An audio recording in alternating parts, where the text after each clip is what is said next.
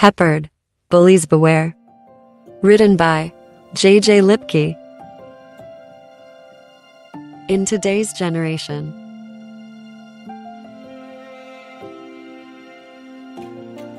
a lot of kids encounter bullying at school.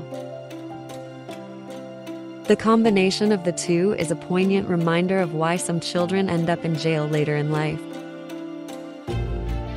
Some don't, but they ought to, because they abuse other children.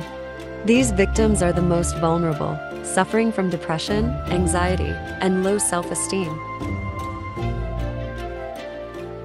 These kids often turn to crime themselves or suicide, as Lauren Cartwright attempts in this story.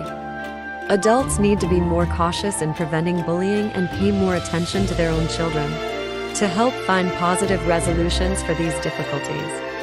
This story draws its conflict from real life situations and brings to the fore a new kind of vigilante who becomes a hero for the teen who is being bullied.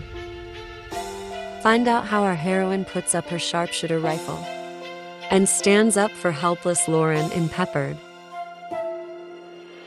Peppered, Bullies Beware. Written by J.J. Luepke. Purchase book via Amazon and Barnes and Noble.